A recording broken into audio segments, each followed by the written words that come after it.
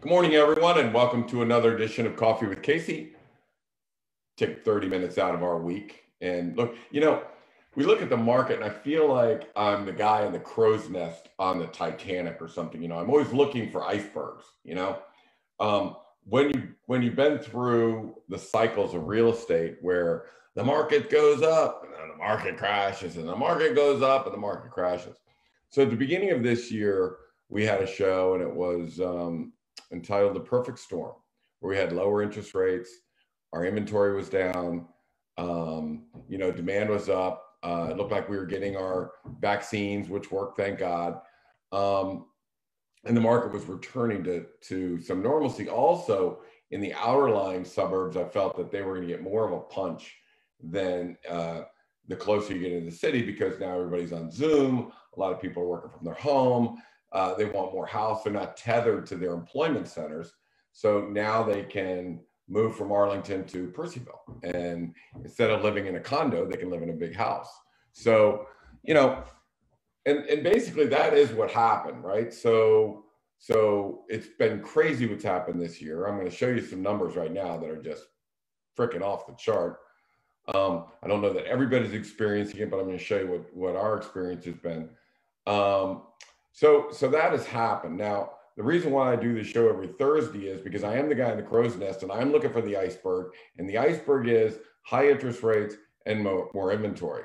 So when the inventory climbs and instead of competing with one house or two houses, you're competing with 12 or 15 houses, that's when trouble happens. When interest rates go up, initially the buying is is fast and furious because everybody's trying to get in there and lock in rates and get a house. So so that actually stimulates the market initially when interest rates start moving up.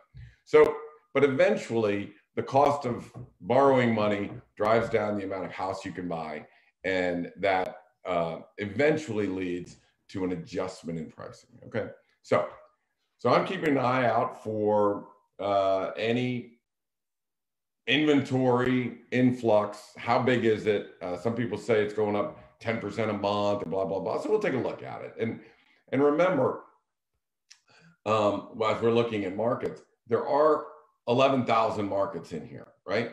So I went to a market. I was looking at a market have a house that was going to go on the market for two million dollars. So I said, well, two million dollars. Okay, so let's get a let's get a, a you know Vienna, Oakton, McLean. Let's look at the two million dollar houses. So this month, nine went under contract in around that price range. Nine went under contract and 11 withdrew unsold. So that's 45% of the market sold and 55% of the market did not sell. So there's some things we're going to talk about today on why is that happening? Why is not everybody experiencing this big? I mean, look, uh, top 25 deals that we sold this year averaged $141,000 in profit or premium. Why has it happened? Is it normal? Is everybody getting all of that? So we'll take a look at that. Um, they did ask me to speak at a convention. I don't know if it's a realtor convention or what it is. I, will find out today. Um, on a panel of you know listing, you know tips on listings and things like that. So uh, you know I don't even know where to begin on that. I mean you know we talk about so much in our listings and our pricing strategy and all of that. So I don't even know where to start. So maybe I'll get some tips today. Um, so let's start with the guy in the crow's nest looking for the iceberg. And the iceberg is listing inventory coming on the market. So let's take a look at that. Let me, let's whip on over to the old PowerPoint and we will get you up to speed. Bada boom, bada boom. All right, let's take this live. All right, so this is the listing inventory and what I do is I'm comparing it. I'm comparing it over the last three years, 2018, 19, and 20, with this year, right? So if we average the last three years, you can see our inventory is really going down, right? So these are homes that were listed, the had a list period of January 1 to you know October 30th. All right. So January 1 to October 30th, this is what happened in 218, 219, 220, and 221.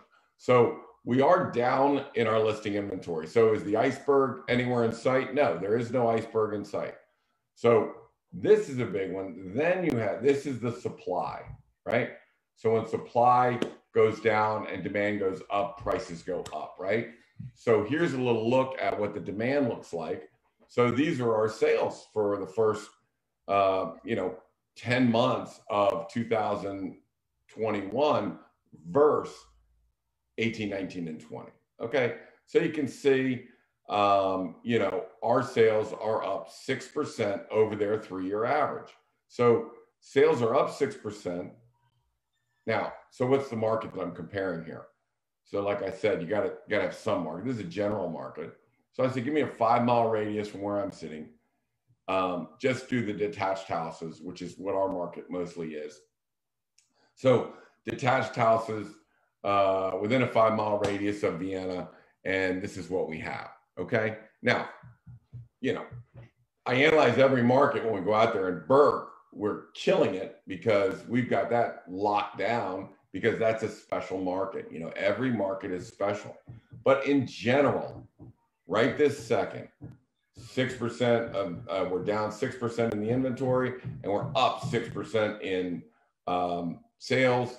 So, what does that tell you? It tells you that the demand is very strong. It also tells you that, as I said before, um, we're not going on vacation this year and we're not going to celebrate the holidays. We take one year off for Thanksgiving, one day off for Christmas, but the buyers aren't taking any time off. The sellers aren't taking any time off. So we're working through the holidays this year. All right. So, so that's the first thing we need to know. All right. Now, the next thing is let's talk about some of these premiums that people are getting. So, the, the, the topic for this show is the less you ask, the more you get. Okay. Now, I'm not talking about a lot. You know, I'm going to ask a lot less but I'm talking about a little bit. I'm talking about going under major thresholds to get to capture buyer pools, right? So let's take a look at this. This is our top 25 listings uh, versus the rest of the market, okay? So over on the left, you see the days on market, okay? Over in here, you see days on market. And then you see the address and what city. So so if these are our top 25, they're basically, you can see anywhere from Burke to Ashburn, Centreville, Chantilly. It doesn't matter where it is, Great Falls. It really doesn't matter. Here, you have the tax assessed value, you have the list price, you have the close price, and you have the premium. In other words, a premium is what did somebody pay over list price? So I was asked this, I was asked today or yesterday, well, you know, you get a lot over your list price. Does that just mean you ask less? You know, you're you're listing it too low. And so, you know, that's why not only do I bring in the premium that we got, but what is the percentage of the assessed value?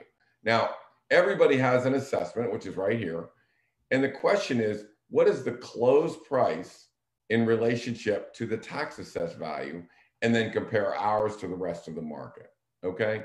So if you come down here you see our days on market was four days on market. And again, if you've listened to the show, you know I'm a big advocate. We're going to get the biggest price, the best terms, uh, you know, no appraisals, no uh, home inspections in that first week. So I'm a big advocate. So the top 25 sales all came in that first week.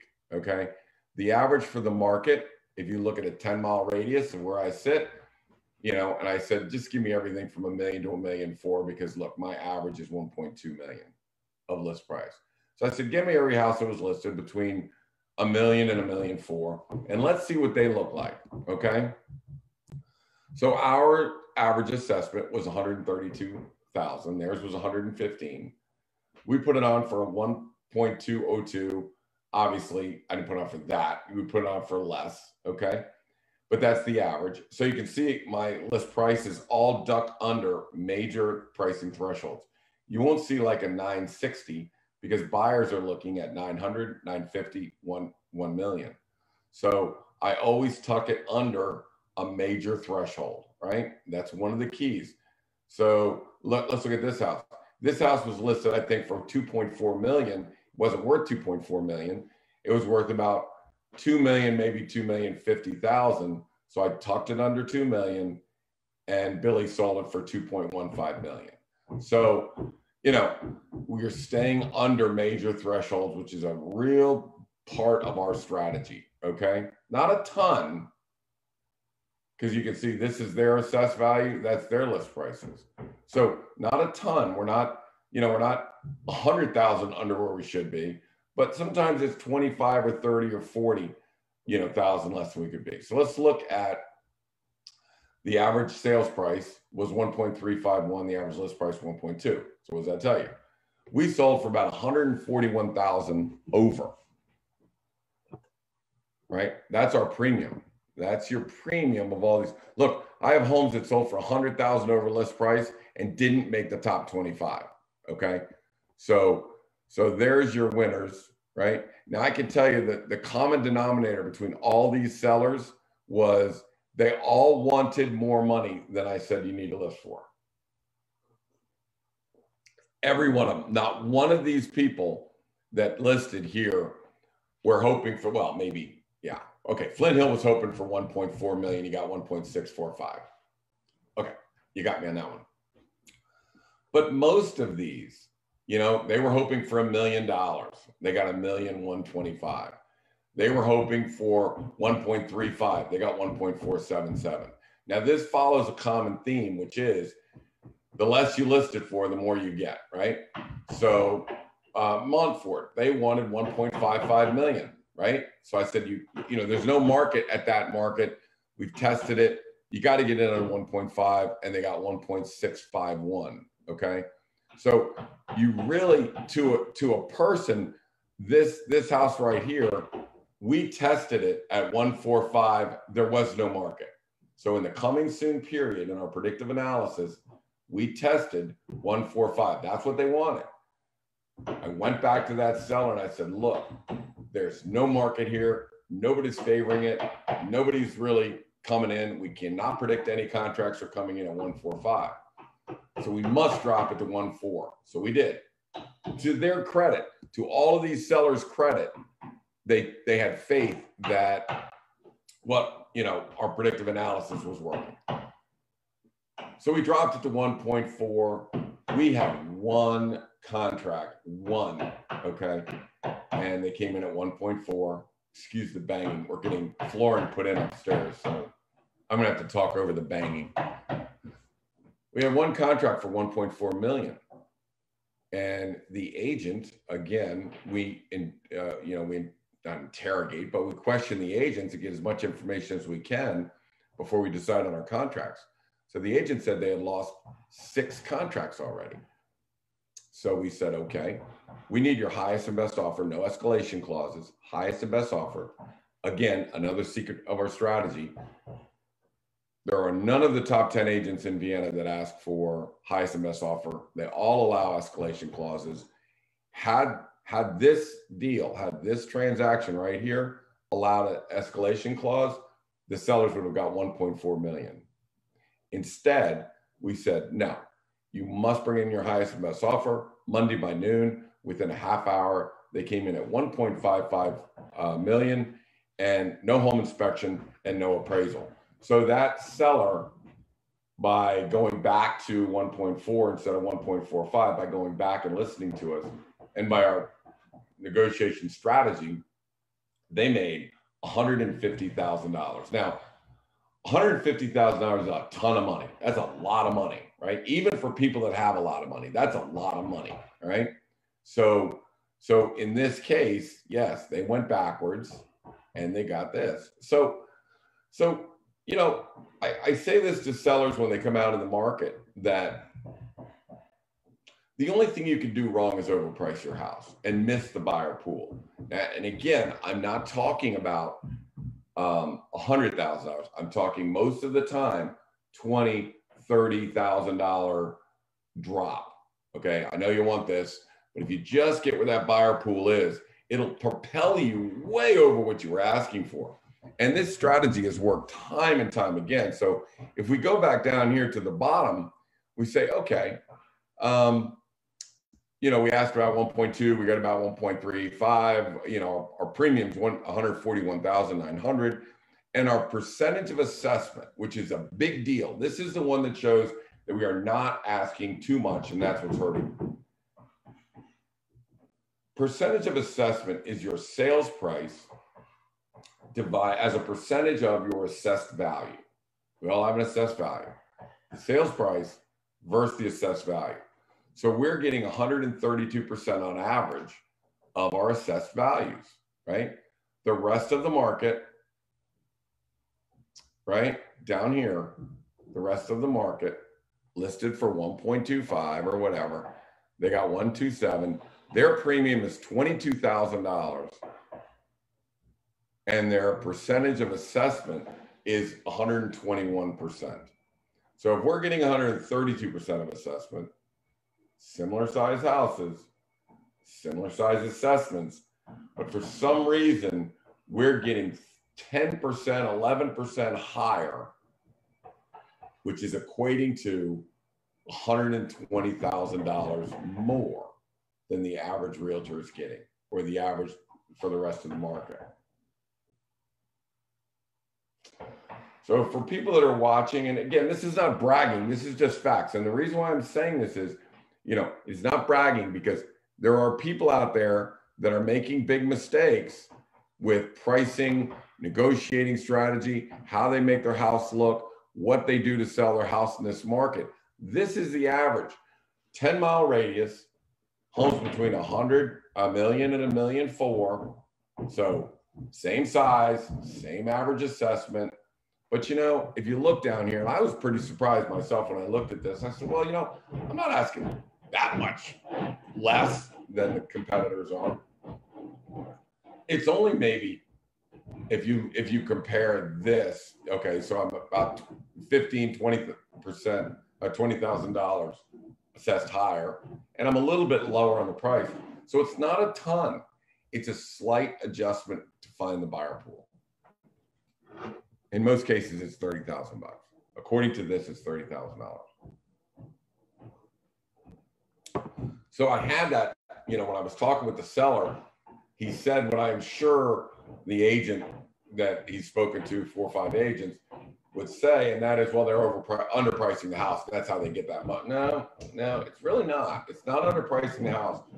So the key to this market, let me let me escape from this and I'll get us back to uh, I'll get us back to some nose to nose time. Let me stop sharing here.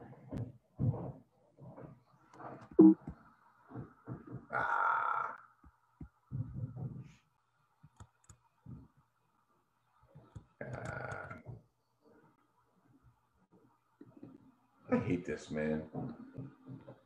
Program really freaks me out when you when you PowerPoint when you're doing Zoom. But so I, I guess, you know, the, the point is, what is it? Then, then why is it that these houses are going for so much more? Um, you know, and to be honest with you, I, I'm more than willing to talk about it, you know, on Coffee with Casey with everybody and share it with sellers because I think my sellers you know, look at this and look at this before we talk. And, and this helps them make their decision that, yes, we're not listing it too low. This is what, this is the strategy. The strategy works. The strategy has got 11% more, um, you know, than the rest of the market. So, you know, yes, I get it. So that's, that's the reason I put that out there, not, not, not for the bragging part of it. But I start thinking about that and it's, it's not just the pricing. I mean, um, you know, again, the theory of this show is the less you ask, the more you get. And that is true. Okay. Because we are finding that buyer pool. But how do you find the buyer pool? So the first thing that we do is, you know, Kelly or Morgan or Colby or Pat or Billy will come out and Pam will come out and they'll look at the house with me and we'll all look at it. But I really rely on them. Um, you know, I can walk into a house and say, that house looks great to me. And Kelly will say, no, that's set up for a 60 something. Right? 60. It's not set up for a 30 something. So what they do is they'll take out a, a, a, um, a kitchen light here, you know, dining room uh, chandelier there. They'll replace things. They'll put carpets. They'll do some paint. You know, they make it look like it's a 30 something or 40 something house. So, so that is clear part of it. And and you know what? I, I I've shown this before, but I was looking online. I'm going to take you back. I'm going to take you back to share screen. I got to show you something. Again, I'm not crazy about. Um, I'm not crazy about going back to PowerPoint.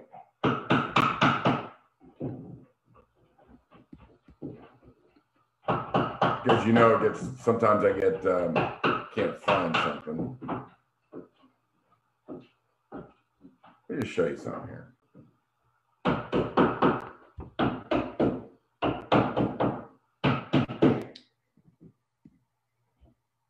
Just go to some pictures.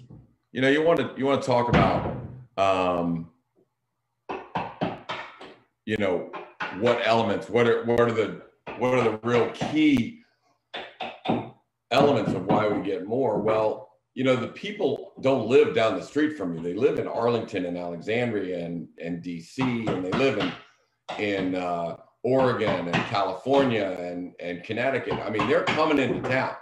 So this is a real key. This is a $2 million house. And I want you to look at the floor and I want you to look at the windows. And that's what one of the big agents around here had it listed as. That's what it looked like. That's what we looked at like. You bring in a modern carpet to break up the floors. You use flambient photography so that the windows are screaming at you, right? And now you can see when I'm looking in my dining room, I look see this beautiful green as opposed to that. That's terrible. That's that's awful. Now this was again major agent from Long and Foster in here, and and you know you can look at the floors and the windows. And that's what ours looks like, right? So it's not just the pricing, it's the marketing. This I saw, um, I saw an agent advertising this online and I looked at it and went, oh, that looks awful. Look at the, see what happens is they use flash photography. And when you use flash photography, that's what it does to the windows. If you use flambient photography, that's what the windows look like. So they almost look at the windows compared to that painting right? So do you want to look out at that in the backyard or do you want to look out at this? So it's just, it's a function of detail and the pictures are a part of this process, right? So I just wanted to show you, you know, that's kind of one, uh, one aspect of, that's one aspect of why are you getting an 11% premium? Because when we take that sucker out online and we get those pictures and we stage it the way we want it, get your pictures and get out, that's powerful. Um, you know, Mike Briggs, um, you know, and I were talking yesterday. Uh, um, uh, someone wants to get into photography and you know start doing it. It's a passion of his. So I said, well, if you're going to do it, you need to investigate this kind of photography instead of that kind of photography. Now, again, I don't see a lot of people using it. It's a West Coast technique. I don't see a lot of it going on around here, not in the major uh, studios, but but this is this is future stuff. This is where you got to go. If you're going to take a picture of a house and the person's going to see it online, you must a have the presentation correctly, like we do with our websites, and b you need to have pictures like that. So, you know, the first thing we can talk about on that uh, realtor group is pricing. You know, second is, well, fix the house up correctly. And and I know you, you know, a realtor doesn't want to tell us all of that because he's asking for their business, but he doesn't want to say, hey, your house looks like a 60 something house. We have to make it look like a 30 something house. You know, Morgan really came in and was a game changer when Morgan said, look, um, you know, all the buyers want transitional instead of traditional. And this home looks traditional. We got to make it more transitional. That's a lot better than saying, hey, your house is dated and it looks old. So, so it really helped when Morgan came in. We really started building the house the way we wanted to in that transitional in that transitional stage. The pictures, obviously, game changers. The websites, game changers. But then the game changer is this, and this has become much more. You know, you look at it and go, well, what's the key of getting that 11%? How are you getting 11% more for your houses? And I'm going to tell you how. Okay. So we do all that work. We do the pricing. Uh, The buyer for a house in Oakton at $2 million is in McLean. He's looking at McLean. He lives in DC, Alexandria, Arlington. He's looking at McLean, not looking at Oakton. But he can't find the space, feature, and function he's looking for in McLean. So if you had a technique where your algorithms could find somebody looking for a $2 million house in McLean and take our presentation of our $2 million home in Oakton and display it to them, that'd be pretty good, right? So that's what we do. So I'm always looking for if I'm in if I'm in Vienna, then who, you know, where are we next in the food chain? You know, McLean's prices are here, DC's prices are here, Vienna's prices are here. So if I'm in Vienna, I'm looking to McLean and DC. If I'm in Oakton, I'm looking at Vienna, McLean, and DC. So the food chain is you've got to find the buyers when they go on and say, let me see all the $1.6 million houses in, in McLean. Guy in New York did that. I had a house. Nobody in Vienna wanted it. Beautiful house. Guy was sitting in his penthouse in New York. Um, he was looking for houses in McLean. Uh, our system knew it, and our whatever Julie does took our ad, put it in his Wall Street Journal feed. He fell in love with it. He got on a plane. He came down here and he bought it. That's how you get the value for the properties. So it's it's not one thing. It's everything. It's kind of like football. You know, we coach football. Well, you can't just pass. You can't just run. You can't just you know run wide or run with power or dive. Or you got to do it all. I mean, you have to do everything, and you can't just have a great offense, you got to have a great defense, and you got to be able to stop the run and stop the pass. And you know, it's it's a common, it's everything. It's not one thing, it's everything, right?